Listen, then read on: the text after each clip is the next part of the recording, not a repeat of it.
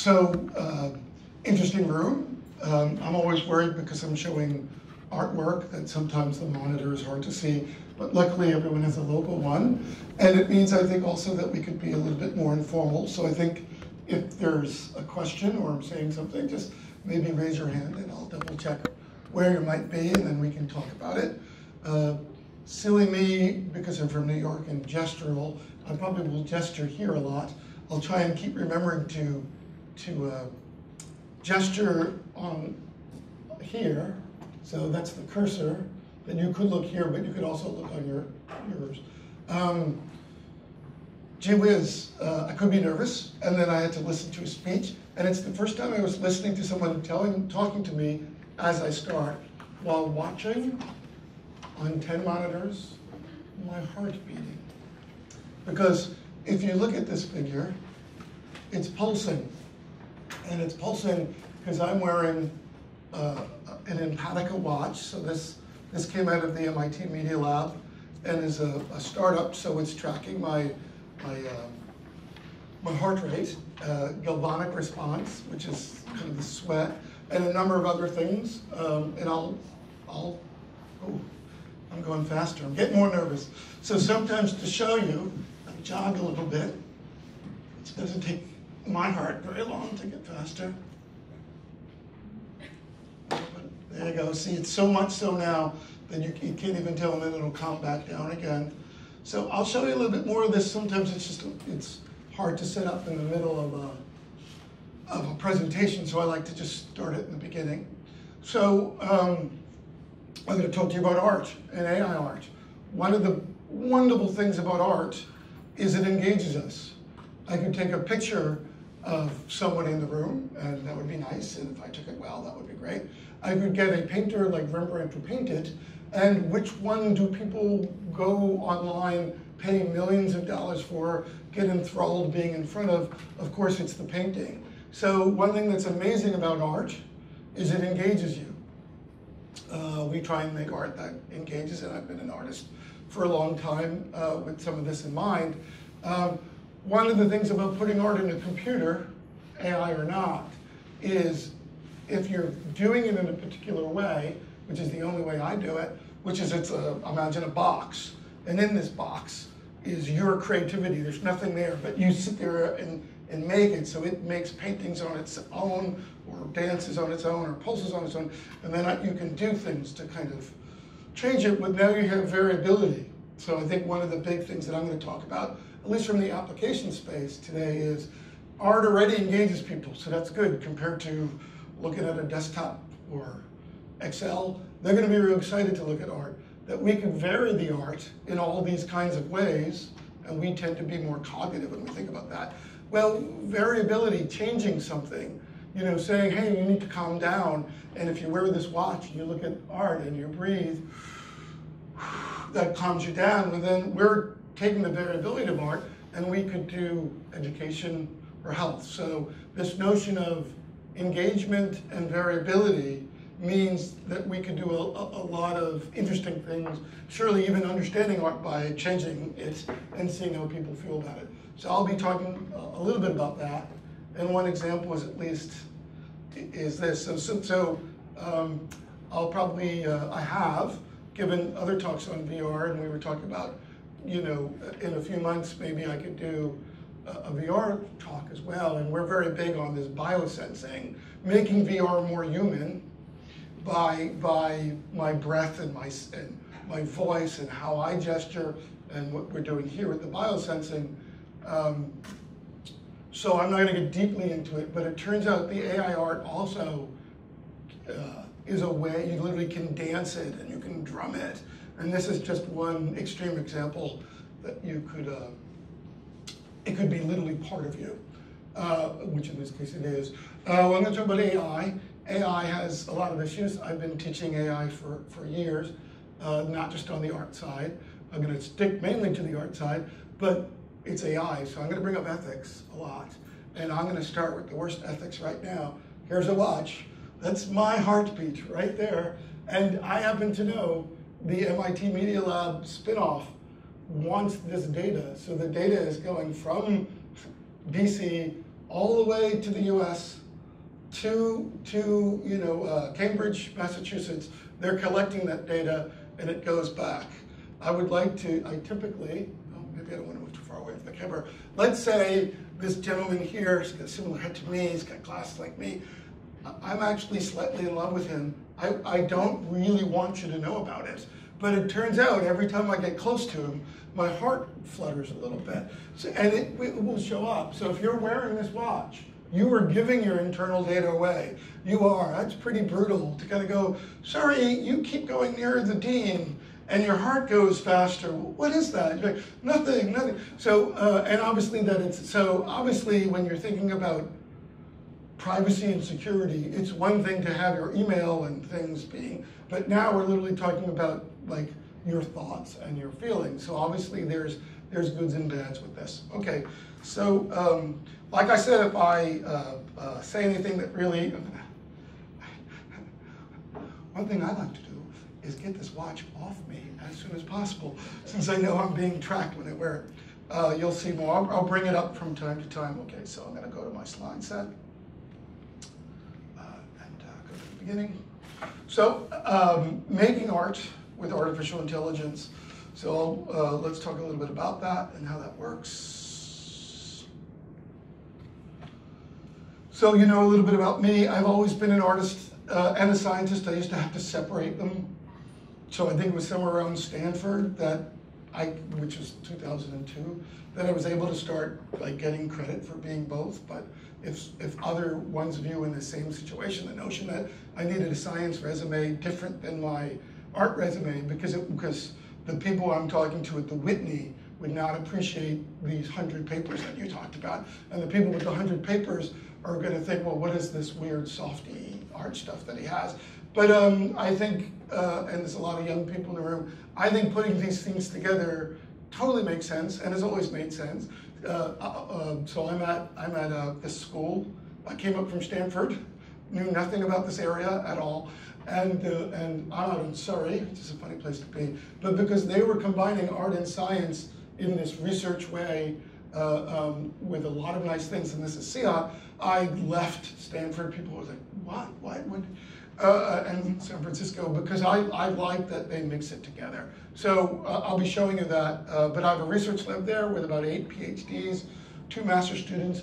Uh, most of my PhDs are women, and I'm very proud of that. Uh, most of the PhDs, over 80 of them, which is a lot for a research school in general, are women, 51% women. Most of the masters are women, and most of the 700 undergraduates are women. So we're quite proud. Uh, technology schools are in the 16% women, and they have huge conferences to try and bring that number up. So we're very excited that with, with interdisciplinarity, with mixing science with humanities and things, that there, there is a better way to do things, and surely having women is always a better way to do things. So I'm very happy with the, the folks in my lab, and you'll, you'll see some of them. Um, so we do things with a little bit of cognitive science. If you're going to think about how people paint and how people are creative, that there's many approaches to doing that. Our approach is well, what's happening in the brain. And not always the neural science of the brain, just algorithmically what's happening in the brain. Because we're basically, we're back to this thing that there's an empty box of nothingness, and I want to put creativity in it, that I probably would need a model for, for and that model, the way I get that model is thinking deeply about how artists draw and paint and and sing and other and dance, uh, and that's what we're putting in. Okay, so that's a good introduction to me. So again, the research lab looks at expression, what I'm, I'm expressing now. I'm being emotional, uh, uh, gesture, I'm talking, personality, behavior, and then this high level thing called creativity. And some people think, why would you possibly want to use computers to model such things as facial expression and creativity in art? Um, but we see these two benefits. The second one is um, um, we think the more of this you put in your computer, the more it responds to you, rather than us having to respond to a computer. And so I, we're trying to move from communication systems to expression systems. Uh, a saxophone player knows how to express their soul. Can't we do that a little bit better with something a little bit better than just text and graphics as a way of doing that? And that's some of the things we're trying to do. also, a lot of what we do is cog science. We, we do, when we make this art and think about it, we're, we're thinking about very simple questions and parameterization of how people are creative. Okay, so, um, so um, if I'm using my body, well, that's the voice, that's movement, that's the intent about what I want to do, that's emotions. And a lot of those I'm now using with sensors. So you saw the heart rate sensor. I'll be doing a lot with a hand motion sensor. Sensor. I have a breath sensor. We have a lot of ones that we do. Then what are we doing? Well, we're doing visuals and sound and media and VR and AR and 360, and I'll show you more of the, the art side of that. And then hopefully there's some interaction. It's not so much what's on the screen, it's not so much, it's the experience space between them, how a painting affects you. And with computers, you can play a little bit more in that space. It's affecting me so much that my heart rate is changing. Oh, now this is, so it's the experience space between those. And I've explained we tend to use this more rigorous modeling technique and we do experiments to make sure we get it right in the cog science domain. Okay, so, um, so cog science then is human mind, it's, so we do a lot with creativity. But if it's painting, it's a lot of how you see, colors, shapes, so how you, how you perceive things. The computational creativity part is making tools like a Photoshop for, for creative people, and hopefully some of you will want to use the tools that I'm showing you. Uh, uh, but some of it is we do is automatic creativity. Again, in a box, we teach AI to be creative on its own, and we just leave it alone and see what it does. Uh, the AI side is going to be a little tricky. How many people are computer scientists and know a little bit about AI? So we have, of the people who even raised their hands, they raised it about this high. So, um, so I'm not going to go deeply into it. There's papers on every one of these things, and you can go there. there the, the lie is there that AI is a thing. I always hate when people say the AI or AI won't kill us or whatever it is, because there's so many different methods, and all of them are faking it at some level, and I'll do my best to explain. And often, if you want to emulate humanness, you're using, I'm using several different AIs at once. So we had, the, if you noticed before, well, some of you maybe weren't here, but I had, I had that dancer piece up. That dancer piece has four different AIs to, to figure it out. One is Cubist, right? Just AI about how would you make things in planes, right? There's an AI doing that. And then there's another AI that's thinking of, oh, I, I really want to put in ink lines. I really like those kinds of lines. How would I do that? And, and, oh, and then that's only the idea of a painting some, another algorithm, a different AI, actually does the painting and tries to think about, well, what would be a human way to paint and what's the history of painting and all that kind of stuff. Um, so no one method, uh, uh, uh several methods. Again, we're trying to emulate this creativity. Um, there's this term AGI that you're going to hear more and more. And be very skeptical when you hear it, which is just AI with the G in the middle. I think it, it was a cute way to do it, even though it usually stands for general AI. So that's this notion that there's an artificial intelligence that isn't just for painting or just for car driving or just for this, but it's it's the one you'll see in robots and they're going to come and kill us one day. But it's the total. It's a total. It's it does everything, and I can tell you that just doesn't exist at all in any form. Almost anyone doing AI tends to almost be an expert in the space they're doing. If AI really worked, you would not be an expert in the space of painting. You would just kind of go, I have no idea, make a good painting. But almost everyone is really doing it in other ways. So versus this multi-AI solution, which is more what I'm going to be showing you. So there's different AI techniques. It's complex math and logic and coding. So there's only so much I can do here at this point. I give a computer science talk over in the computer science building and we got more into it. And even there, there's so many different styles. But I'll be showing you at least three big ones. Genetic programming, which is you evolve creativity. It's how we became creative. You know, uh, uh, we, we, there were strategies uh, that your that your mom had and that your father had, and they married, and some of those strategies got mixed to make you, and onward through time. Well, we do that in a way. The, the nice thing about genetic programming, it tends, to, if you think of a search space, so here's all the possible paintings that look like a dancer in planar form. There's really good ones over here. There's kind of good ones over here too. And if you were to try and, and you started here, how would you get there? With certain people who are not creative would just kind of like, well, um, that's good. And, and you would just, but creative people kind of go, there should have been here. I can't find it.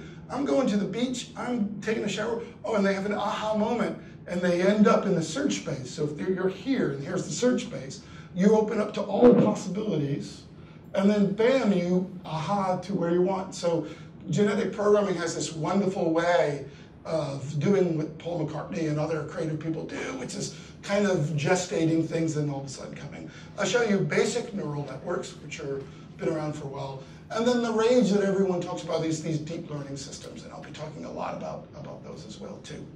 Um, so are there uses other than just, excuse me, other than just for art? Uh, there are. So um, I was just down at Stanford again, and I was talking to all these neuroscientists. So they, they threw me into the notion of, of brain disorders. So one of the other, one of the things we're doing with AI art is we like art, our brain likes art, and therefore uh, we understand a little bit more how the brain works. Surely how creativity works by testing these models, how perception works, and techniques and geniuses of artists. So I'm, I'm known and got my PhD here at the Interdisciplinary School at UBC so many years ago in showing how Rembrandt understood how vision worked better than anyone else, and it's because I made a model to do that, and I will show you that. And so some of this, literally, even though it's about computer art, in it, because we can parse it and do studies on it, we can show why artists are just as good as scientists about understanding the world and passing that on. And I'm somewhat known to do that. I gave a, this is a pretty big talk here, but I gave a talk to 1,000 people at the National Portrait, uh, the National Gallery in London. So that was like, okay, that that was one of my biggest, right? And serious, there was Rembrandt experts and some, and I was making the case as strong as I could that it was all in Rembrandt's art. Everything that scientists knew and everything that he didn't write it down. That's not what he does. If a scientist at the time knew what he knew, you know, would he pass it on as well as, as Rembrandt did? So I'll show you some of that work. Surely we're doing a lot in e-health. You look at art, and especially with some of these sensing systems, you could de-stress, you could calm down, you could refocus. So we're doing work with Fraser Health, and um, Curatio is, is a company in town. They got the most money ever, or a lot, from um, uh, Shark Tank. So it's got 12 names, I one. Um, so they're a local group that actually, if, if you God forbid, find yourself with cancer or something like that, they will hook you up with other people who have a similar problem to you and they all get together. And we're using some of these techniques to, to help there. Again, I've already said art is engaging, so it's the variability that we can do in the computer plus the engaging that allows us to do this education and health. We're also doing a lot in journalism, movies, and communication.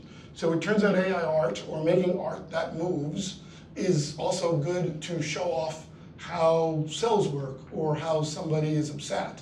Um, uh, so we just got a very big grant, a Google Knight Foundation grant in, in, in because they want to know more about how 360 video works. And then we're specifically doing something with anonymization, which is we actually turn a, a person who's being interviewed, who we really do not want to show their face, into a painting enough where you can't see who they are but hopefully where all their emotion is still coming out. What's the number one way they do anonymization now? Anyone want to say when you when you watch an interviewee and they can't show the face, what do they typically do? Pixelization. So that's number one. Someone said, you know, lower the lights. That's probably three. Blurring is two, and pixelization is the number one way to do it. If you use the best one, even with a little AI in, it's it's an After Effects. If some of you use it, it's Pixelization three or something like that, which is the which which will at least try and follow the face and pixelate it so it's not all that stupid. And there you you lose all the eyes, everything. So we'll show you some of the techniques that we're hoping that we're doing that with UBC Journalism School here. 800 people tried to get these grants and only five did, so we're very happy. Okay, so here's one of the things we're trying to do. That's a picture of, of, a, of, a, of a woman and somehow there's a painting over here, and that painting uh, is all the magic. And how can that be? How, what does an artist do? To, again, the photograph is real, it's scientific, and the one on the other side is distortion, it's incorrect. But yet, artists exploit your vision and your perception uh, um, to, to do things you like. And in those things that you like, you like that, that painting better. And in doing so, um, it actually gives you more of who this person really is than the real one. Uh, Joni Mitchell likes to say, art starts with the word artificial and you do something artificial to tell a deeper truth. So a lot of this art is, in fact, moving off the scientific real to bring all these other things. I'm going to lower the lights a little bit so you can see the art better, and, and me less better. It seems like a good thing. Um, okay, so there's a growing notion or recognition in cognitive science that artists and neuroscientists that they've discovered valuable ways of understanding and working with you know notions of color and perception and how your brain works to achieve a desired experience. You like that painting because your brain likes that painting. And there's a number of tricks that they use that we now know uh, um, speak to how the brain works.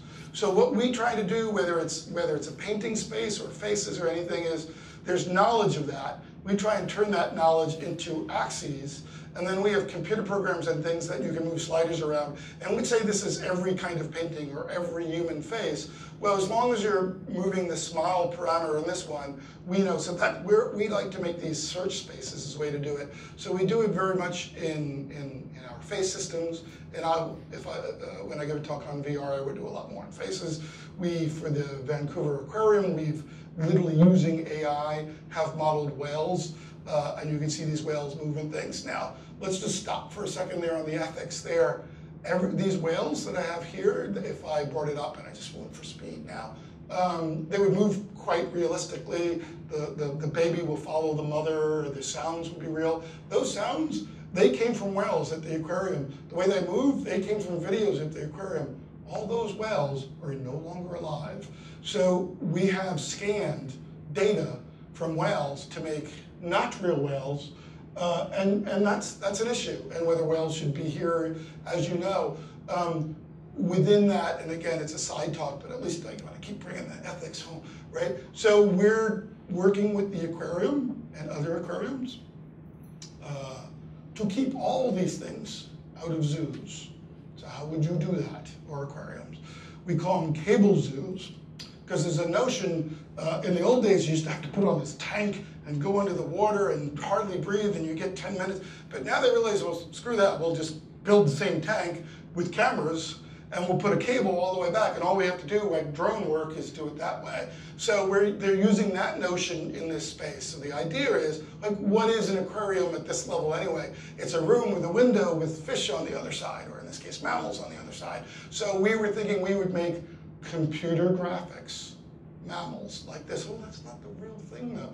But just like I sensed my, there would be a real whale in the wild or a real Bengal tiger in the wild, and we would put a camera, excuse me, camera on the head, and, uh, uh, and maybe other sensors and trip photography everywhere, so we could monitor, you know, Harry the Bengal tiger, and you're seeing him when you go to the zoo. It's not really him. He's he's still where he likes to live. But in fact, you know, uh, you're seeing him up front. So there's issues. I bring this one up early because there is a notion of is it art or is it the facsimile of art? And this is the same thing. If you have a tiger in the wild and you're keeping him in the wild, but you want to teach kids in this neighborhood what the tiger is like, do you really need a tiger there? Or do you need everything about the tiger but in virtual form?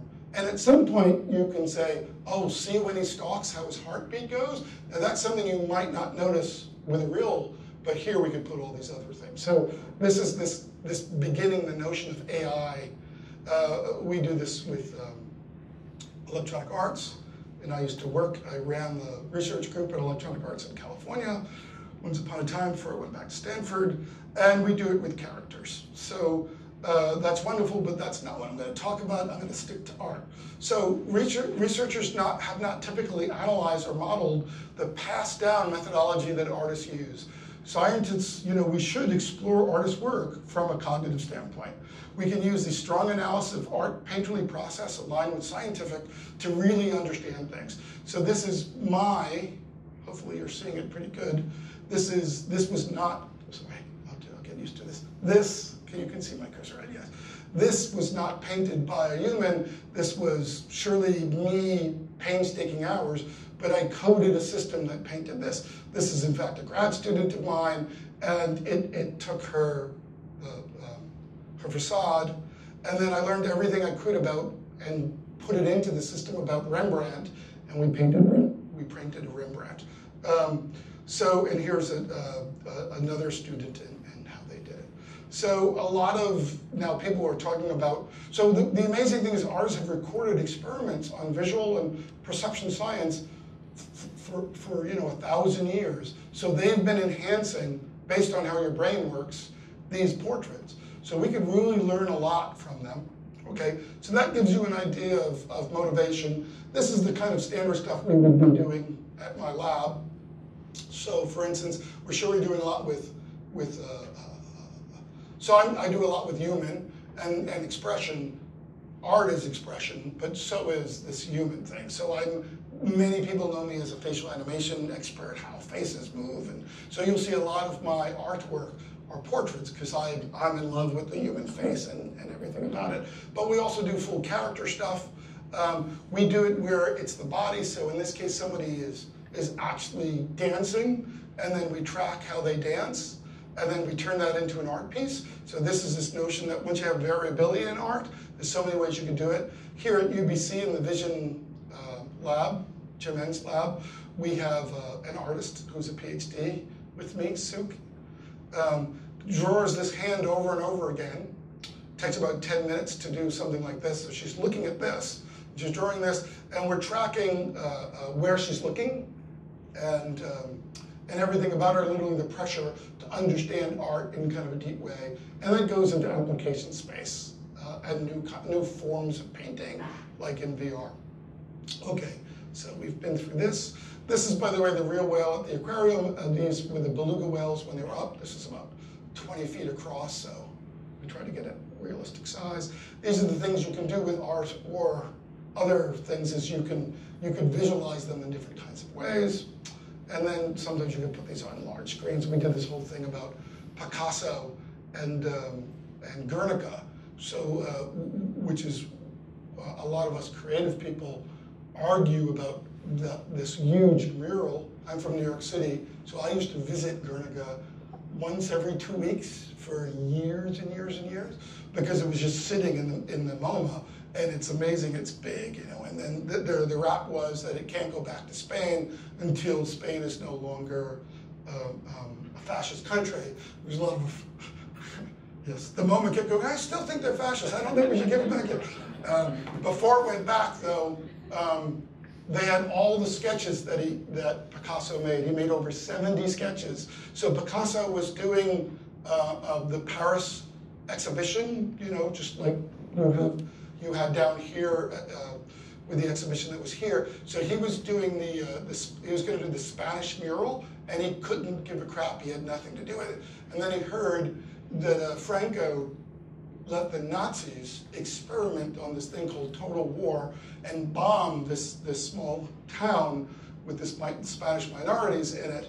And they bombed it, and as they were running out, they were shooting them, which was terrible. And from that moment on, from not having a creative idea to this, what everyone believes is a masterpiece. He did these sketches, so all us creative people argue about these sketches and how creativity works. So we're able to show things like that as well. And of course, we're doing a lot of it with, with faces, and I'll show you more of that. Um, art is actually good to understand things. For instance, we know with autism, when they're not as good as you at um, uh, people not on the spectrum, on, um, on, on seeing a face and seeing all the heavy duty stuff. And wh why is that? Why, when they look at a more realistic face, can they not zone in on it? Well, one of the things it could be this, it's just too much for them to think about. So we've tried this where we, we take out the textures, and then we actually just go to a line drawing and seeing if they're better at it. So again, art can be used in this way as well. Uh, we've done this study and they're not better at it. So it's a deeper problem. So to be clear, in case you're interested on the cognitive side, there's social complexity. Are they just not good at social? Or is it just, well, you know, uh, it turns out you look at things that are moving, you look at things that are sharp. So you're looking at all these other things, but something in your brain says, I will filter those out and only care about this person talking to me. Um, and uh, so we were hoping, well, we'll filter out for you and we'll see if it's if it's just a complexity problem or a deeper social, and it, it, it still appears to be a deeper social. Um, uh, so once you can do art, you can put art on anything. So I've done a lot of videos and, and installations in these museums and such that um, that I can take human movement and paint it and have a choreographed face. So um, so I've done that a bunch. So this was the, uh, the electronic German group Kraftwerk that um, I worked with Nam June Paik and did a piece on. So this was a long time ago. 1990. So in 1990, people went crazy saying, you know, maybe media is an art form. And they had the very first kind of media show, and it was very controversial media, TV, computer screens, that'll never be art. So uh, these are the old computer, you know, remember those old boxes of CRTs? So this is 70 feet across and uh, 30 feet high, and these are all different TVs, and I did a piece with Nam June Paik, who's very well known. Uh, even though we did Kraftwerk in 1988, people say, how do you get into these museums? And they said that to a famous computer artist, and she said, um, which stunned me because it seemed to be about right. She said, keep your health, because it's going to take about 30 years. So you just at least have to be healthy enough to last for 30 years so people can, you know, so you can show it. So this is my thing. 1988, I made this, uh, Nam June Paik, uh, a few years later. But for me to get into the MoMA or the Tate Gallery, I had to wait till, till um, 2013 they released this work. So these are computer pieces that I've done over the years um, to show you what they look like. Um, one of the things also with sensing though, is we can start sensing the human face. So you could look at art, we can see how you're looking at it, we can change the art as you're going. This is Nilay, one of my grad students, who's working with me on some of the sensing software. So I mentioned that we were going to do genetic programming. So this was a very well-known piece I did that, that went around the world. This was the first time I realized I was more of a, uh, in a box. I made this piece that went, that worked for 30 days, and I just curated what I thought were reasonable pictures. And then it turns out that did better uh, than my traditional art. I literally now became almost an agent for this art that I made. But the genetic programming is their strategy. So in this case, there's these, these 14 these uh, uh, pieces of code. And if you look, there's cosine and tangent. So those are things that'll make nice curves, you know, and but then it's how it gets put together. So all those randomly go together in a program, making, we'll call it, a baby. Um, and then um, the idea is we're, we're not telling it, but something gets made, and then in a blind room, so to speak, it's uh, another uh, judge decides how well it looks like Darwin. This is the most famous portrait of Darwin in the world. I like to say in the US, because we don't understand It's like, it's the George Washington portrait of the UK. So this is at the National Portrait Gallery, and it's one of my favorite imagery. And of course, Darwin talks about evolution, can you actually make a gallery full of his ideas, evolution by them evolving from nothing to try and get towards him? So that, that was this piece. It got on the cover of, uh, of the journal Nature.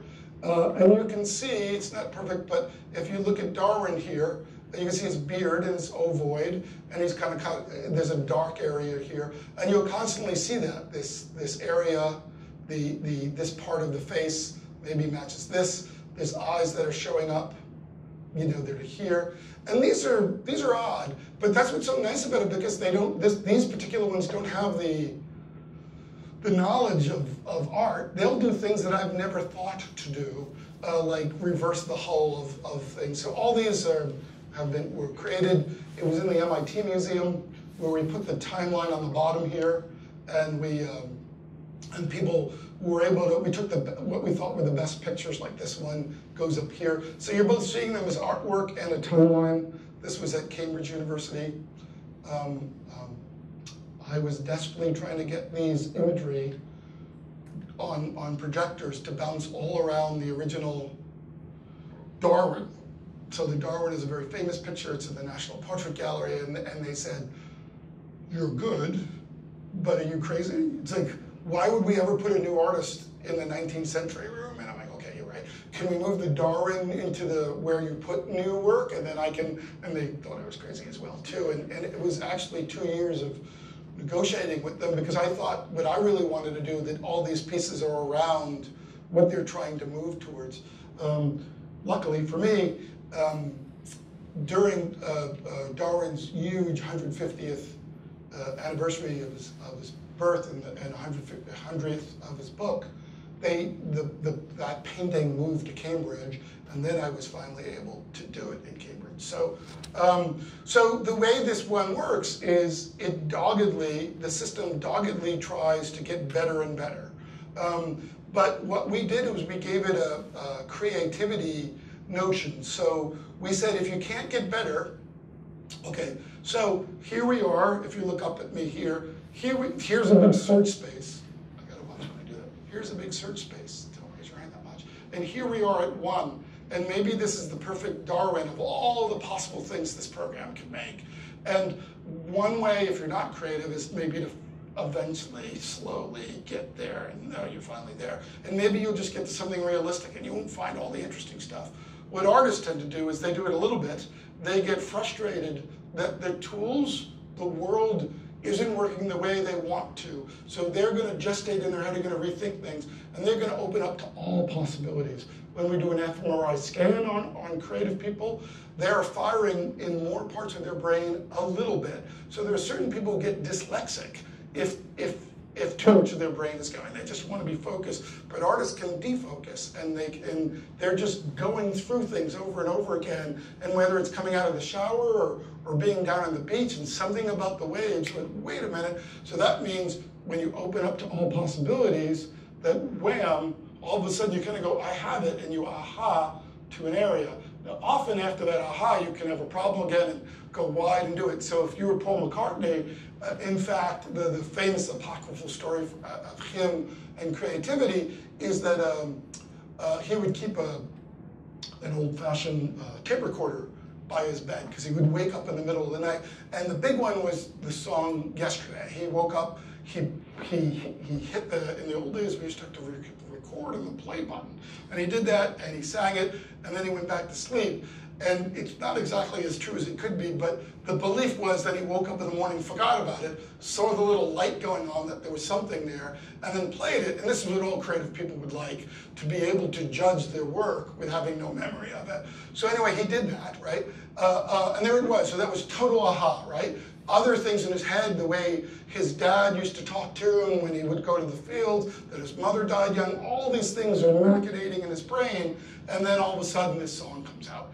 Um, but then he said, oh, the words aren't right. So, so he totally ahas, but then he kind of goes more to this analytical of what would I do, how would I, and then he ahas again to solve that. So this is something that artists do a lot of, and I put it in a computer program where it bounces back between, so if you think of this system, it's like there's a patriarch uh, uh, program telling all the other programs that are related, let's look exactly like Darwin. But I like to say there's the strange ants are going, yeah, sure, I'm, I'm related to you, so I do similar things to you, but I want to do funkier things. So it's a comet that I purposely have a wide tail. And to me, it's I'm always, so, because uh, you can get into chaos. The, the key and this is literally now how we paint. So when I'm talking about AI, this is literally what the code I'm writing. I'm no longer thinking about how am I going to paint it. I'm thinking, oh, I know a trick. A trick is I can say look like Darwin, and, and this guy is, you know, this program is saying everyone look like Darwin, and I'll have these other ones kind of go kinda, but I'm going to think of other things. Um, and that's where some of the beauty and magic comes up. Here's an example of it. Again, this is where we can use cognitive models. So this is called uh, fluidity. If you, if you look at the top, this is kind of the hierarchical patriarch saying, fitness, just do fit, uh, just resemblance. Now people were like always saying when I show them this work on the walls, um, oh, did, it, did, it, did they ever get to Darwin? I'm saying, well, you can get to Darwin in, in one line of code. It's called copy, right? So, so that's what we're after. We're trying to spark creativity. So um, this top is kind of like that. It's like we only care about resemblance, but what I, the wide tail is these fuzzy rules of art that I wrote in this computer program. Simple things about composition. The composition is so simple, it's, hey, the middle matters more than the end. If you're gonna do something good, don't have it go off to the end. That doesn't look good. Try and, so I mean, those are very simple rules of, of composition, tonality and color. And this was, this was the show that I did from it. What was nice of it, because uh, there was a gene set that would, that, uh, which is a recipe, and that recipe can be reused. You could point to anything in my show and say, I like this one and I like that one. Why don't you keep going? Marry those two together. So I said that to my wife, who, who I met in New York City, where she was an art director and I was an artist. We did a show together and then we got married. Um, uh, she liked this one, this kind of donutty one, and she liked this this other kind of long one. And then, well, I said, good, I'll, I will now move on. I will marry those together. I won't move them towards Darwin. I simply will just take the strategies from one. And this, so you can see that this first kind of uh, offspring is taking these poles and bending them in the direction of the donut. So it's very different than morphing or what you might do in Photoshop. It's really marrying strategies. In some ways, this one is my favorite because if you look at this donut, it's a little thicker in one spot. So it's almost taking this one with these colors, so this one down here, and it's learning the notion of fatness, which I kind of like, right? So these are what a wonderful space if there are people in the room thinking, yeah, I, I don't know, I, I kind of like the drawer. It's like, well, this is the fun that you can get involved in. And we've done this evolutionary stuff also to make in rug design, and there's a big design company in town that uh, does things for the W uh, Hotel and other big hotels. So we were taking any design they make, and in the you just pick. I'll just do it this way. You just pick this one and that one if you like it. They get married together and you keep, and you just do this. It's like you're just walking down the street of creativity. On every corner, you're saying, well, which way do I want to go? And you just move through it. And you could always bring old ones back. And then we're into things like, oh, I like the shape of one, the color of the other. So these are the kinds of things that you do in your brain as a designer. But now we could put some of the cognitive weight on the systems to do it. Um, okay. C is there. There you go. Uh, one, one of the undergraduates we, we have in some of this image, and she was nice enough to show up now that she has a job in the real world. Um, so I'll show you uh, uh, more of this work. So some of it is, if you can do this art and it's changed, well, maybe we could use our body movement and our hand gestures and all these other things. So I'm gonna go, so a lot of times when you're in VR, you can use, and I'll show you in a second, these, this motion sensor and others. So once you're able to do art and it, it can move in space, well, you can just move linearly, or you can say move towards Darwin, or you can say move based on my heart rate, or any other thing you want. So that's the, the notion I'm going to try and get out today. So when I put that, uh, so there's different things you can do with these, these sensors that I showed you. One is we just put it on you so we understand how you feel. So that's the understanding. The other one is the user, oh, when you're in a video game or making art, you know, at least simple things happen. For this group, I would think we're more in this pro-authorship. I'm trying to make the best painting I can, and I could use my hand and my gesture, but I think I could scream it better, because it's just, you know, it, this painting is about my friend, it, you know, it was my 30th birthday, it was important to me, he's my best friend. I said, uh, can you come? He said, well, I got an issue, but it didn't seem like a big issue. And I don't think he gets that it bothers me. I'm going to, you know, because I play the saxophone, I'm going to do it. So we're trying to give you better tools to do that. Um, and I'll, I'll, try and show. So this is this watch and more information about the watch. One of the things people say, well, what does the watch do? Well, um, uh, uh, it does um, all these kinds of things. And what I tend to do, although I decided to stop today, is I leave it on during a talk and then, um, so I usually leave it on for the whole talk. And then we get a whole list of what, how I felt during the talk. And then I save it and show it for the next. So this was a month ago when I gave a talk, what, how I was feeling. So I think for speed, I might just move on. Now, some of this stuff we're actually doing for health and things. So here's Sia again, who's, who's meditating and looking at these kind of natural forms that we're talking about. Um, and then um, I've already showed you um, how you might use this as a particle system. Um, but, but let me do it here with Mihei. And on my screen it's moving, and on your screen it is not. Oh, there you go. That is just always the oddest thing, okay. So Mihei, this is my lab, you can be there. She's trying to get to a meditative state, so we do a lot with meditators, we do Buddhist monks even. Um, so she's trying to calm herself down enough to work. Wait a minute, that wasn't right. I did something wrong. Oh, okay, I'll just let it go. This is not the right one, so I'm going to show you a different one because I think it, it talks to it better. Uh, now I don't know which one it's called.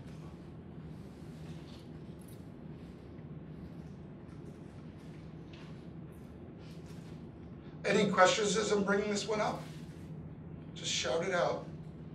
Biodemo. Okay, here's a cloud of nothingness. Oh, again, it, it, it, takes a second for it. I, I'm seeing the video on my screen, but it takes a second. There you go. Here's a cloud that we could make more like Picasso or 3D. There it is. Hopefully you're seeing it. Yeah, there you go. Uh, so this is Unity, so this is really 3D. Mihei's going to come up to the screen and try and calm herself down. She's got the watch on, so we're tracking her. She's doing some breathing exercises. She thinks she's hit a level that at least it should start reacting to her. So because we have an accelerometer, we're watching that move, and we've decided because she's kind of calm that we're going to turn it into a version of her. So imagine you could be in a VR space. There's a whole bunch of spheres you can go into. One helps you in one way, and when you go there, there's a version of you that in fact is part of your heartbeat. So you'll see in a second that she's trying to control her heartbeat. And this is a little bit better looking than the one that I just showed you live. It, it, it, uh, we're doing a lot more to make it more like cloud-like and, and, different. Um, and there we go. And uh, if I let it go, you would see it has, she's doing breath. So we could put, we've been struggling with breath sensors. There's nothing more human than your breath. The trouble is, you know, with flus and things, putting a breath sensor in somebody's nose and then the next person isn't a very good thing. So one thing we realized, you could try it yourself if you're interested, is if you breathe but deciding your hand is up and down, like we don't even, we don't have to do instructions. Within seconds, everyone's doing it perfect. So we're, we've been using this a lot as a breath controller. And we want to have breath paintings where you breathe paintings and this kind of work. So let me, let me show you some of those and, and get a little bit more into demos now. Uh,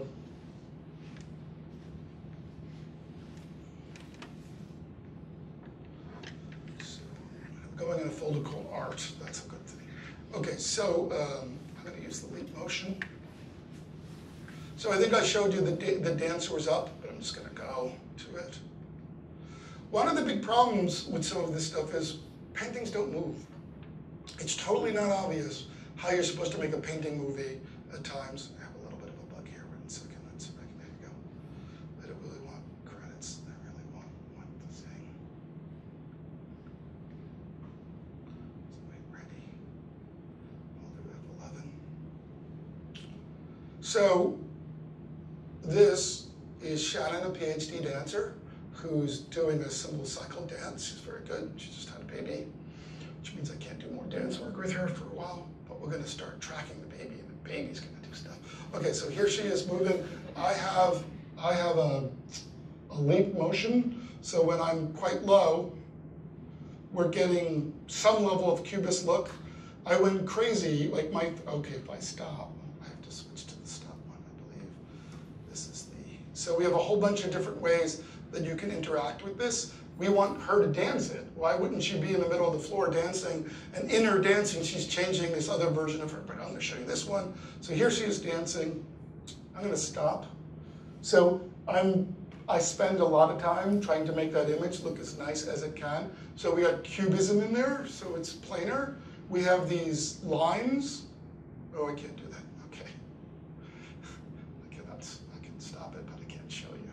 I'll go pretty high and then stop it. There you go. I gotta stay away. So there's these ink lines, which are the thicker lines. Stop, there you go. Um, and if you notice, the lines are, are not on the original plane, they're off of it, so that's more human. And then everything is painted. So then there's painting, and then occasionally you're seeing this blob of paint or scratch of paint that's off the character to begin with. So these are all the things we're, we're trying to support. Like above her head is a little piece of yellow. Why is that there? Let's see if I can get a bigger one going. Okay, sometimes it's a big stroke. Okay, so, but I can control it, so I'm gonna control it with my hand. Up here, it's super abstract. It's literally the same video. And as I move down, and you don't have to watch my hand, it's just moving down. But uh, uh, you can look at the screen because that's. Um, it's getting more and more at the level we decided to go, and I can I can uh, have it go backwards or forwards if I go in this other direction. So I can control this. So why don't I try? So I'm going to get a speed that I like, like there, and I'm going to decide every time she twirls, I will go more abstract. So twirl, twirl, twirl. So if you've seen it now, watch my, what I'm doing in my hands. Twirl, I went too fast. Twirl, twirl. Now, I don't want to go fully up. I don't think that looks good. So I'm deciding artwork-wise what I want, and eventually I can do a whole thing. Now I could do this by shouting, or I could do this by breathing. Or I can say to someone who says, it's a chaotic world, I'm confused, I'm not happy, you're my um, social worker, what should I do? Breathe and try and bring your world back. So while I'm doing this with my hand and a cheap $80, I love this thing, 80 bucks. If you, if you do VR, people are like, oh, there's a new controller. I keep going, this one works with your hands, both hands works every time, 80 bucks. We don't need these other fancy things. So right now, if you've done VR, they're using controllers. I'm going, hey, if I'm into art, I'm obviously into natural, so I'd rather you use your hands. So this is an example. Let's go a little deeper. So this is a program. Stop. Any questions about this? This is, um, so we're questioning this in a million different ways. We don't know how you'd want to play it. We don't know should you should you go from realistic to surreal for certain kinds of coming, or do you go the other way? So all this stuff is quite new. Again, paintings don't move, and there's a while it engages you, it's not obvious. And, and we're excited about making things that look good.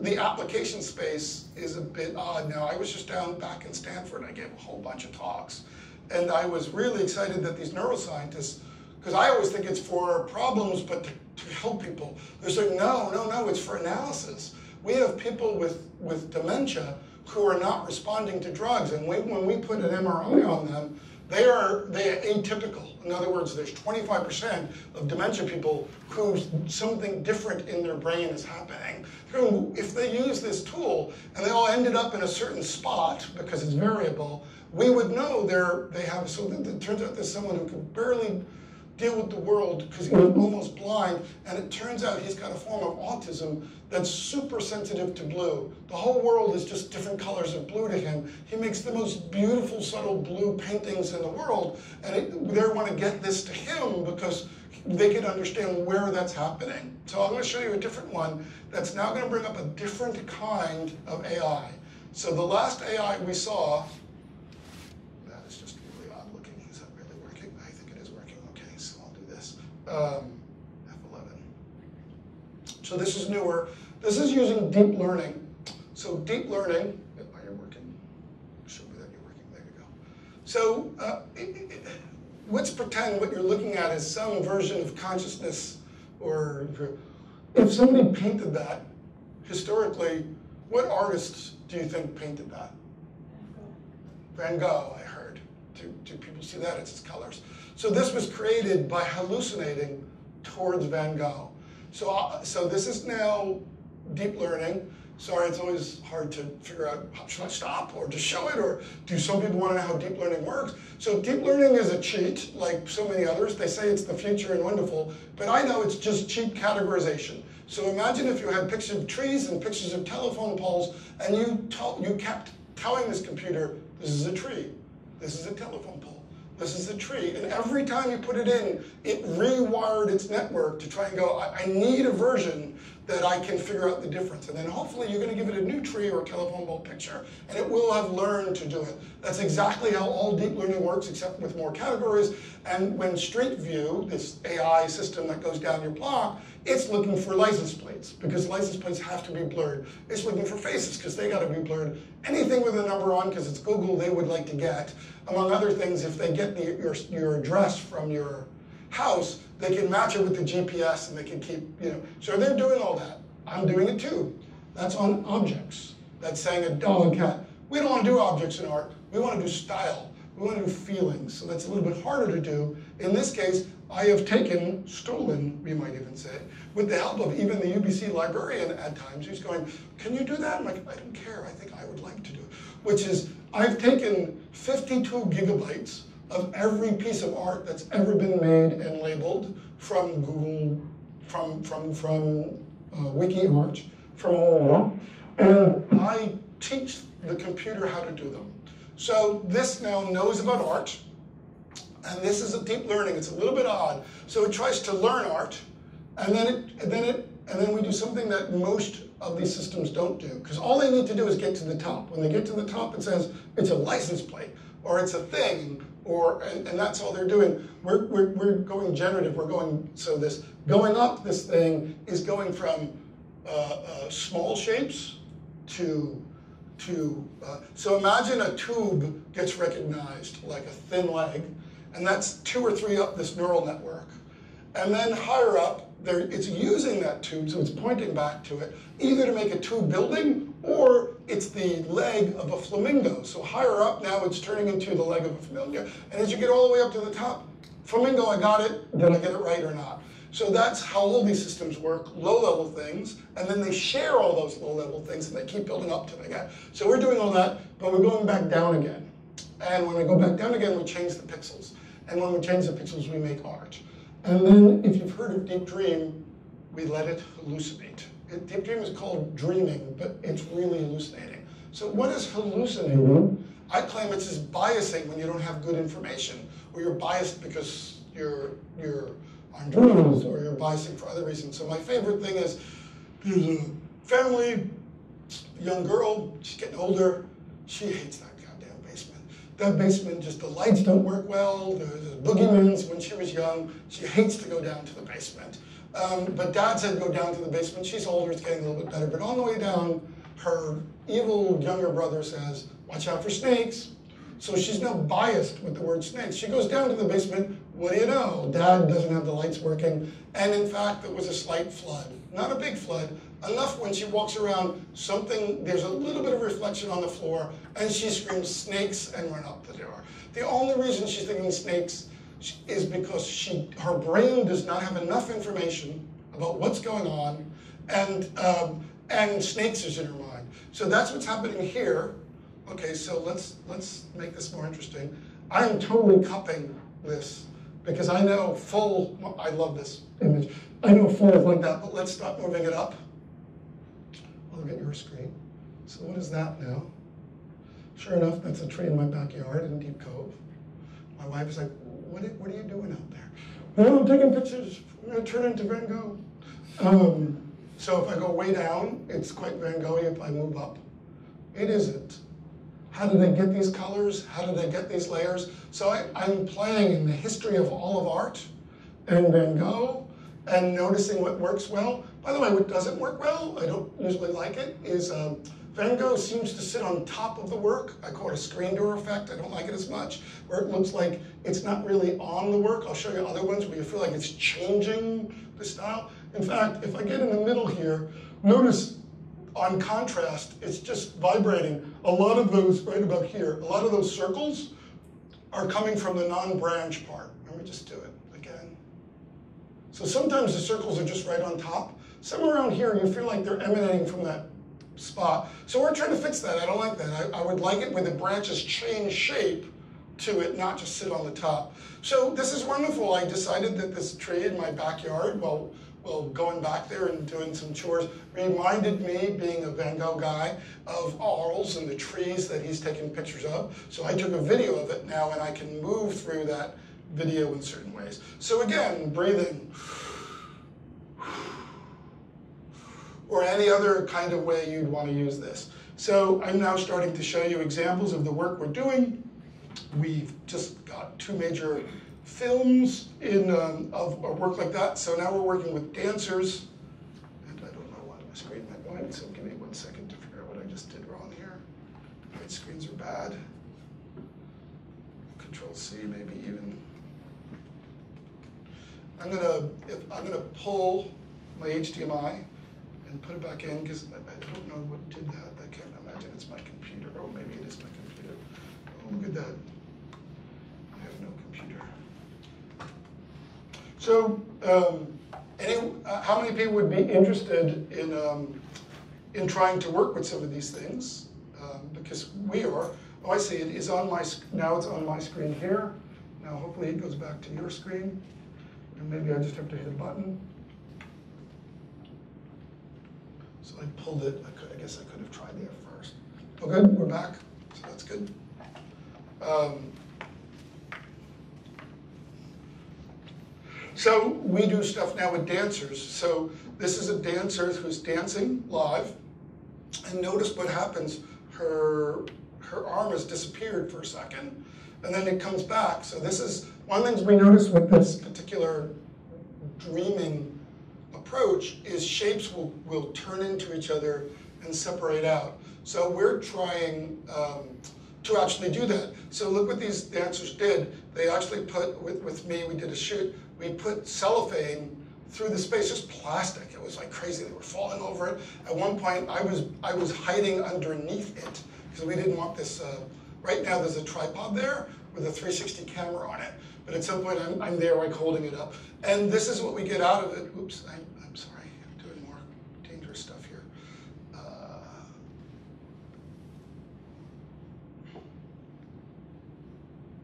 there we are, sorry.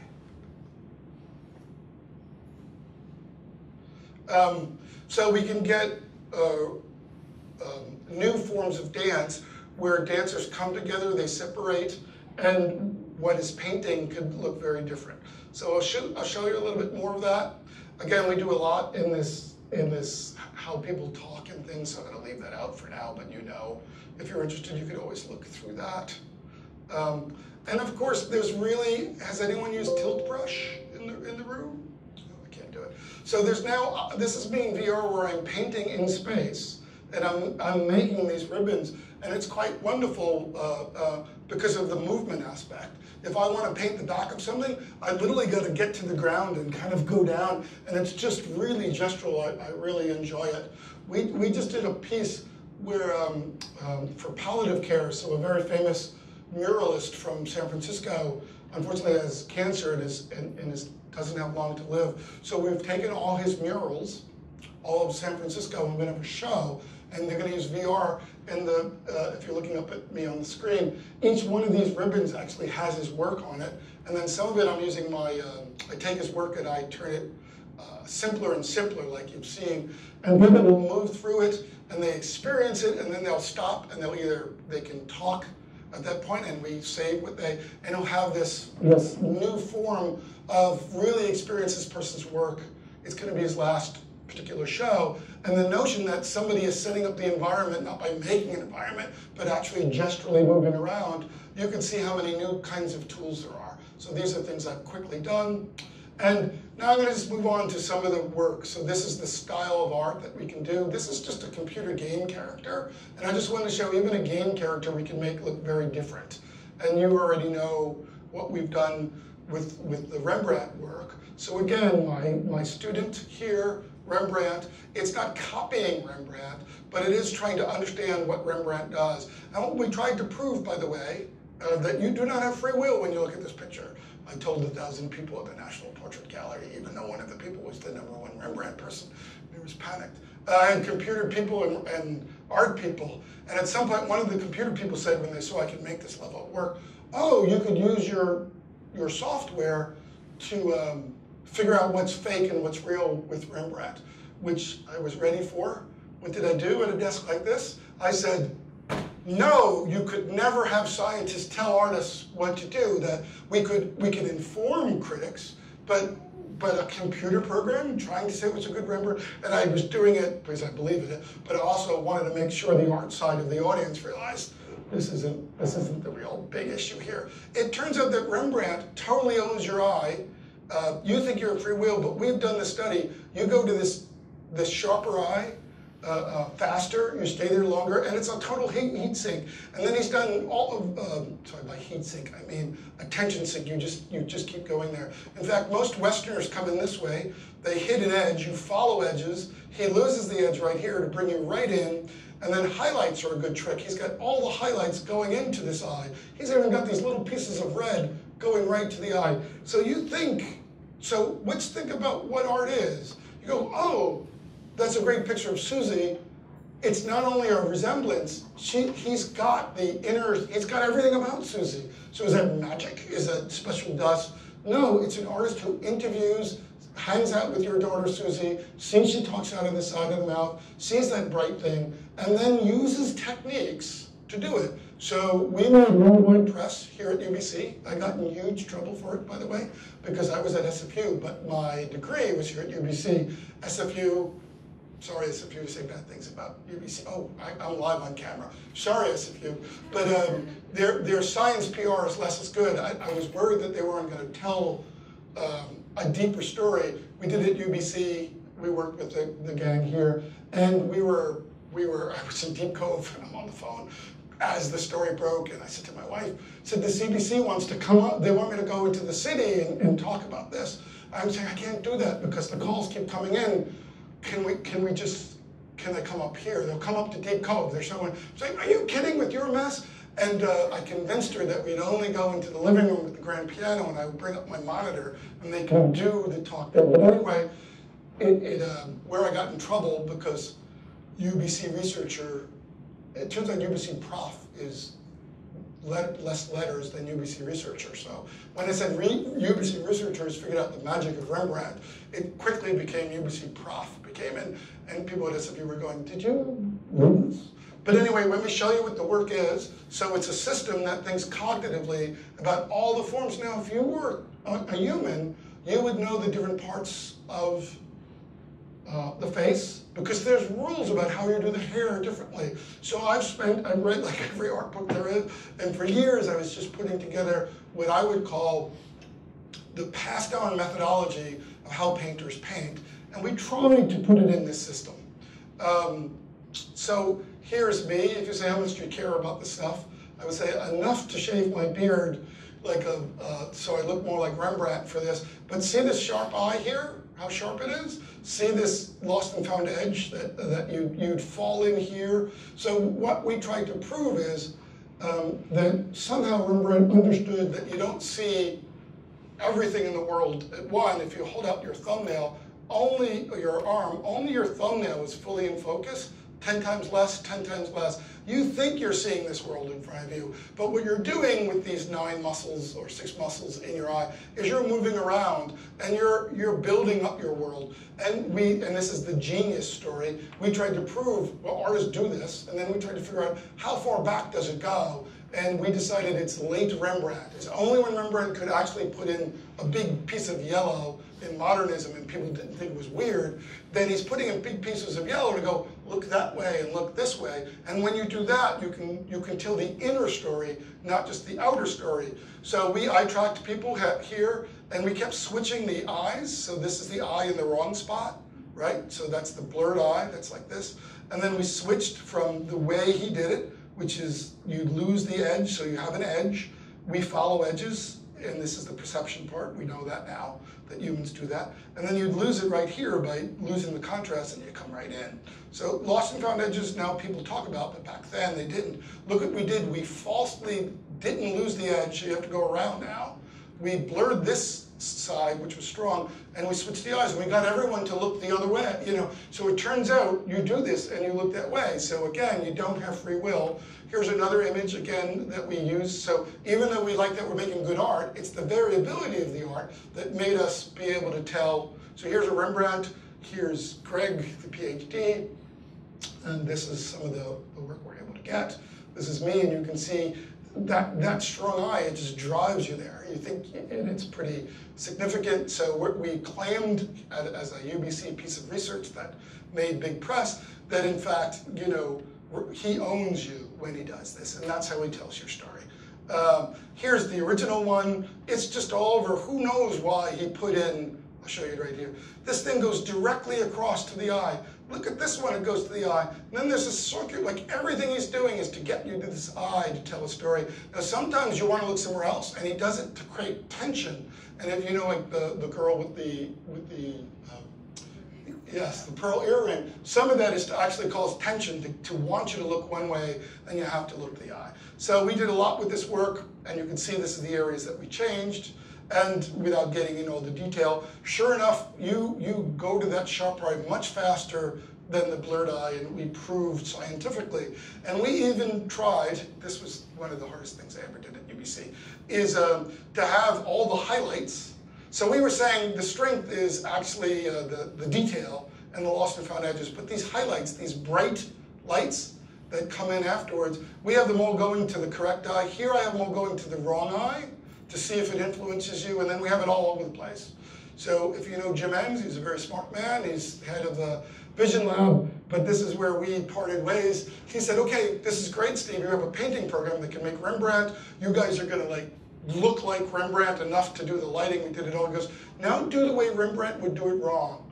I'm like, okay, Rembrandt wouldn't do it wrong, so I, I don't know what to do. So it was very hard for me to do the highlights the wrong way and claim this is the way that Rembrandt would have done the highlight, highlights, right? He, doesn't do it. So you have to watch this science and art, and this is why a lot of people in art go, I mean, in science go reductionary.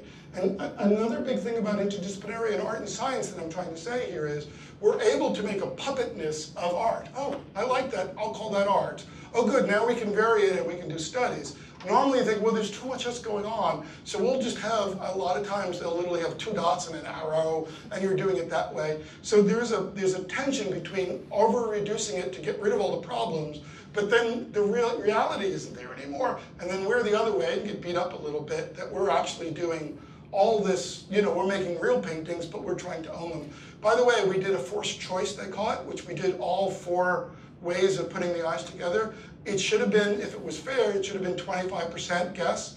53% of the time, you said, I don't know why. In fact, your eyes just went to the way that Rembrandt did it. So, so we're here, we, we said, he never wrote it down. It doesn't matter.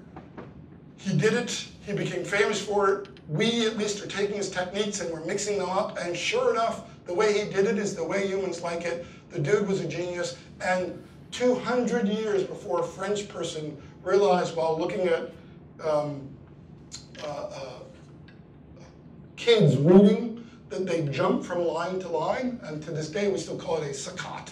And so that's when we started realizing, oh, this is this fovea vision. Well, I at least, and again, it was somewhat controversial, saying Rembrandt intuited it beforehand. What else do artists know?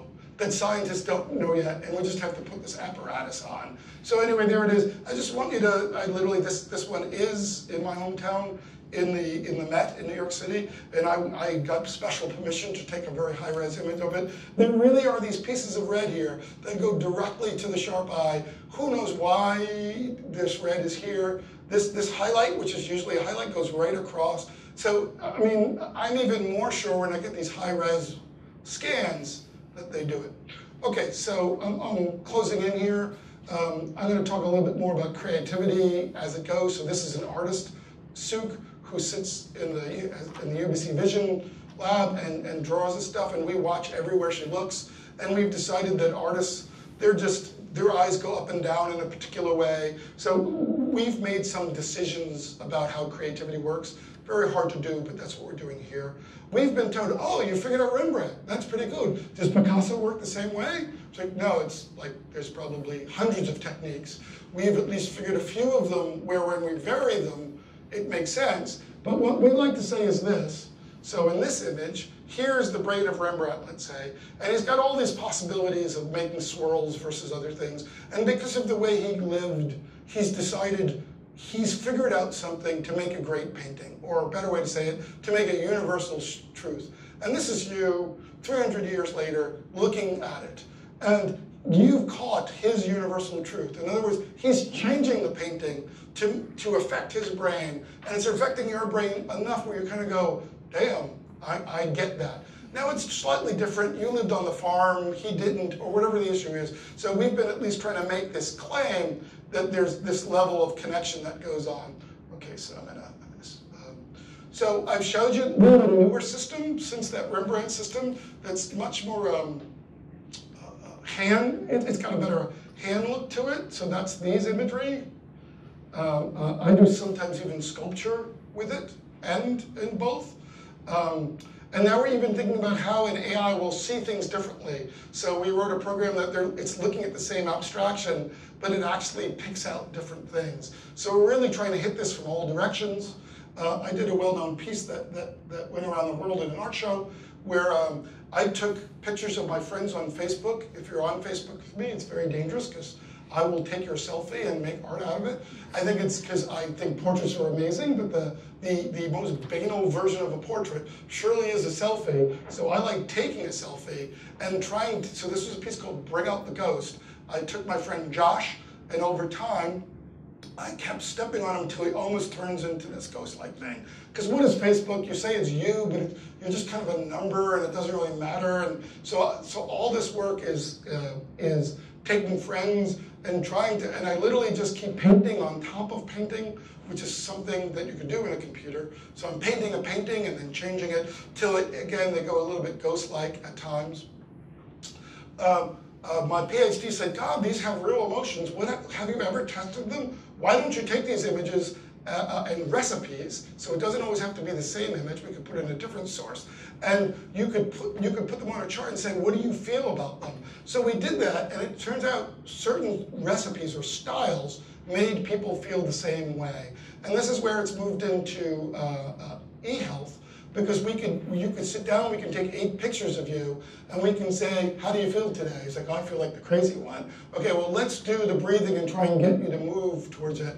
But in VR, we're actually trying to say, well, no, we, we don't even have to say to move there. It will move there because you have the biosensing on. So you can see how some of this kind of fits in the space. Um, we're doing that with movement, where you, you move for five seconds, we track your movement, and then we make this big wall painting now this is the calm one. We could have made this calm one or these others that we've proved now, but I think we went happy. So this is the version of, of them happy. So imagine this thing's in front of you. It's a big wall painting. And you're going, what's that again? You go, that's you. That's your movement. I go, what's with this big empty spot here? So but move differently there. So this was a contract we had because people never move to understand their movement. So we think we could even do more because we could put uh, your biorhythms and other things in here now. This is another one. We could have used the, the same happy recipe, but we used the calm one. So these are styles. So now you can see how we could get movement into art. We can get yelling into art. We can get therapy into art. Um, I was a little annoyed that some of this stuff on the abstraction side was still about just changing the size of the stroke. And, and real abstraction is in the head. So these are this, these new works that you I've been showing you where we're getting these um, we get planes, and then we're putting edge lines on them, and then there's even a painting technique in here. So these are, this is me, a version of me. That's literally still a version of me, just going to very few and, and changing the style. So there's a lot here of the painting style as well. So we call this thinker painter now, which is you think about the abstraction, and you paint it afterwards. So the painting is the stroking, but we can do all different kinds of painting that are different than the abstraction level because we want to get more into the brand. This is a very gesso looking one. So that's still me. You can see how this stuff can really be three-dimensional. So as you've seen, we're doing it with the dancer in, in interesting ways. And we can get very different looks from this look to that look. Uh, this is the one that was in the poster that been, we've been using a lot as well. Uh, uh, this is me in AI hallucinating with the trees where I walk around in Deep Cove. So if you can see some of the stuff going on in the beard, maybe there you can see. I'm literally in my downstairs bathroom. There's nothing, nothing wonderful about the fluorescent light that I took because I looked in the mirror. I'm going, oh, that would be good. So I just put the camera down and took it. But then I was able to match it with trees, and these are other styles. Um, I I give these talks worldwide. Facebook asked me to come by. They love all my face stuff. I'm going, I wonder what I can do with like a post. So this didn't go over as well as I thought. So this is Yann LeCun. Some people might know him. He's the head of, of AI research. At, he's actually from Montreal, as almost all AI people are from Canada somewhere. So we have a bit of money. And this was a post he wrote on Facebook. He said, mathematics meets jazz meets science. The New York Times wrote a nice piece about my friend Terry. He said he was surprisingly normal. So he's just talking to other nerds going, oh, isn't that cute? They think we're normal. Um, we tried to turn that post into a, paint, uh, a painting. So I'll show you another one here where we use AI on the words. See the word swatch, much, church, all in red. So we're looking at the words, we're looking at the ch sounds, and that's making this red, this red line here that actually makes a brushstroke that way. So we're, we're literally obviously trying to do dance to art, uh, in this case, poetry to art. How well did this work, Steve? Did Facebook go, this is great and amazing? Or did they say, could you go back to the faces? And, and you can, I can tell you that, that, this was too esoteric for them. Um, okay, so um, I'm gonna finish off with a couple more things to show you. So a picture of me, and these are these different styles. So this is me uh, uh, uh biased with Volkswagens, bugs, can you see it? So is this one. This one is with creatures. This is more typical deep dream. This is this now we're going to stroke or make a world of art that's all based on that being the element. So you can see that the strokes become the feathers and the eyes are around and other. So it really does open up the space in many, many ways. And even when we go back to our original techniques, it makes all those original Rembrandt techniques much better. So whether you think this one, I didn't do the Rembrandt, but this one, there's just so much extra subtlety by adding the deep dream that we're very excited by it. Um, so we go back to Rembrandt with this newer style. Here's a Rembrandt, and here's a deep dream, not using that six years of cognitive work, but it was faster. And I have to admit, the oiliness, the kind of the wet oiliness in this is showing up in places and it never showed up in the old work that I showed you. So uh, Deep Dream is much more holistic about understanding space, and then you're, you obviously are trying to work with that space. Um, so in the newer work, we're actually doing all this AI in different ways. An artist like Picasso, in that stuff that I just showed you with planes, it wouldn't make the same, he wouldn't make the same planes all over. Given my thing about he's trying to draw your eye, where he wants you to look, there probably would be smaller planes and or circles. And if you think of his cubist work, that would make more sense. So this is what I mean where we're using several AI systems to get more creative. This AI system has looked at where people look at things, and it makes heat maps. So when most humans look at the, this picture of me, you spend more time in my eyes, so I'm supposed to do it like this, in my mouth. So they've done hundreds of these. Remember the example of the tree and the telephone pole? So now we're just getting more complicated with, uh, we get an eye tracker, we see where you look, and we train you, and hopefully we can give you a new picture of anything, and we can get that. So we just, I just came back from Stanford, and I was showing the difference between um, low, low planes or, or high planes everywhere, or being smart, knowing the that this, this, this should have less planes, and the thing you look at more, which is the horse, should have more. Um, so we actually just did a study on this, and um, we got this work. We, we, uh, it's always hard to compare and make studies on art, but we, we, we I know this is kind of weird, but we, we, we did a search term, analytic cubism, in Google Images, and we took the first 100 pictures. And if they were professional, and unfortunately all the professionals were Picasso and Braque, so we're going, oh God, that's going to be hard to beat them. And then if they were amateurs, we put them in a different category. So we showed people and they rated them, and then they rated the hours, and we were very happy to see that ours rated much higher towards the Picassos. Um, so this is salience used another way. See, in Deep Dream, it gets too tricky to figure out what you're looking at. So the salience helps, because that's what an artist would do. They would put more detail where you want it. Now, we're doing this, I'm going to move on to some of the last things, which is AI anonymization, this Google thing we have. So, um, in fact, I should even be, yeah, I think this is small enough. Um, these people are a bit persecuted in, in China. They're, they're um, um, so we we, abstract them. But if we abstract everything, which is down here, it's incredibly beautiful, but it doesn't always get you to think about the people. So we can use the salience to, to get you to look. And we have these beautiful images. And I do, can do the same thing with my hand. These people, in, in fact, I don't want to leave it on too long for a particular reason, but uh, they're actually chanting and they're chanting in a way that calms them all down in this group thing that they've been doing for 2,000 years. So it's really amazing for us that we're doing anthropology and e-health, and it turns out the anthropology of these people have been doing e-health with meditation for years and years and years. So you actually, in that piece, as an anthropological piece, move the way they do, and eventually they rise up. So these are other areas. So our journalism grant is in, is for the following. So here is my. I remember I, uh, I looked in my purse. I, I didn't have my phone. I didn't have any money. So sorry about, uh, I don't know why videos don't always start, right? Let's start again.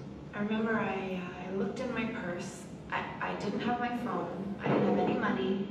Uh, everything that I would usually have wasn't there, so I realized maybe someone had taken my things. So and, that's an uh, issue. No it's being filmed. It's in a documentary. We want you to feel everything about her. I remember I, uh, I looked in my purse. I, I didn't have my phone. I didn't have any money. Sorry about this. Everything. It'll start up in a second. That I would. I remember I, uh, I looked in my purse. I, I didn't have my phone. I didn't have any money. So do you feel her? do you feel the way she moves? Does it matter that you don't see her eyeballs?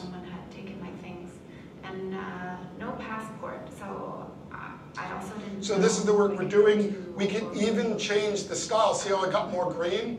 Based on, so another kind of AI could be called tone analysis, where we can look at the stress in her voice and we can change the, the style live. So she's got an issue she wants to tell the world. It's coming out of her soul because it's coming through her face. It would be nice for you to see it. But with art, we could hopefully take everything that's in her soul and still get it out in reasonable ways, either from her voice or, and again, we're working with, um, that's the, this project is Kate Hennessy, who's an anthropologist, an MSc PhD, now at my school, and uh, Taylor Owen, who's quite big in the journalism school, and the three of us got this grant, so we're always working on it. Here's a, here's a different one where um, I, I felt really afraid to come back I, I felt really afraid to come back here. So it's not moving? To show you. I, think it's some memory thing. Really I, I can never figure out why this happens. To show you where this happens. Come with me. You're still not seeing it move. I, I felt really afraid to come back here, but I wanted to show you where this happens. Come with me. Not moving? Okay, let's try it again. I, I felt really afraid to come back here, but I wanted to show you where this happened. Note the style on her face and the style we're using. I'm going to stop it because I actually clicked on the wrong one. So if you notice that style, that's a nice style. We think this one is a slightly better style. You can decide. I, I felt really afraid to come back here, but I wanted to show you where this happened. Give it a sec. I think on second pass it'll catch up as well. By the way, this never ever used to happen. There's something about HDMI that is way too smart because it should be a video signal. It should never I, delay like this. I'm really afraid to come back here, but I wanted to show you where this happens. Come with me. Okay, so I'm going to just let it go. So I've showed you, because we're getting over here. Oh, there we go. Now she's moving. This way. So my salience we could push on her because it's too decorative, you don't care about her, is all about her. I'm, I'm terrified. So that's a style. Some of the style looks as beautiful, you know, sorry to say that, uh, in my book, as the painter, uh, as the dancer. So we're really excited about how this looks. Sometimes too beautiful means you don't notice. So then I think we're going to do, maybe here even at UBC, is we're going to do three things. We're going to show people the original thing of her, and we're going to ask her, are you empathetic? Them, are you empathetic with the character? Do you remember what they said? And a whole bunch of, and then we're going to show the number one way that they do it, you know, right now, which is which is uh, a dynamic uh, pixelation. And then we're going to show this, uh, and we have so many different styles of this. We're not really sure which one to show. And the hope is that this is much closer to the raw one than it is to the other. And we would hope then we could give to the world a much different kind of, of anonymization that, that so you can really feel the people in Syria and so and so. So I've given you a, um, a, whirlwind tour of, of making art with computers, some of the applications in it, how art and science gets put together, how interdisciplinary art works, how interdisciplinary research works, and how a little bit of AI works. So um, uh, I'm ready to answer any questions you have, and thank you very much.